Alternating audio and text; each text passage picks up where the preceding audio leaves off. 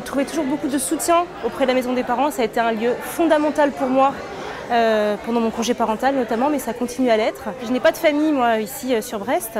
Et donc, quand vous êtes euh, à la maison en train de vous occuper d'un enfant toute la journée, vous n'êtes plus dans le travail, et donc vous vous retrouvez complètement exclu de la société, en fait. Et le fait de venir à la maison des parents, au-delà de l'accueil qui est réservé, des conseils qu'on peut trouver, de l'écoute qu'on peut trouver, c'est aussi tout simplement renouer avec la société. Je suis ravie euh, d'inaugurer ce premier espace dédié à The Human Safety Net. Je voudrais remercier euh, bien sûr euh, la sauvegarde de l'enfance du Finistère de nous accueillir aujourd'hui. C'est un lieu convivial où je me sens pas jugée, où je viens, bah, si ça va pas, ben, je repars et j'ai le sourire. On discute, on échange, voilà, on prend du temps avec nos enfants aussi.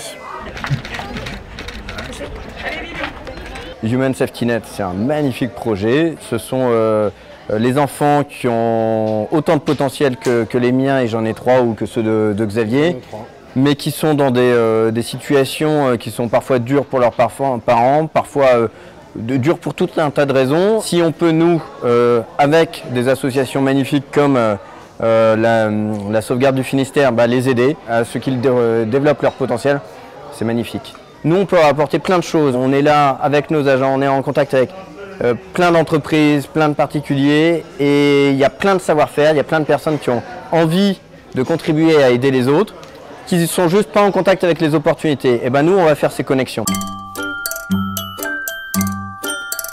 L'accueil qu'on réserve à Generali et à sa fondation The Human Safety Net est forcément un bon accueil. Quand je discute notamment avec Xavier Bourris au niveau de, Brest, moi je sens quelqu'un d'engagé et profondément humain et qui a aussi envie d'être sur un autre champ que juste sur un champ entrepreneurial, même si on sent bien qu'il y a des connexions à faire et qui ne sont pas inintéressantes.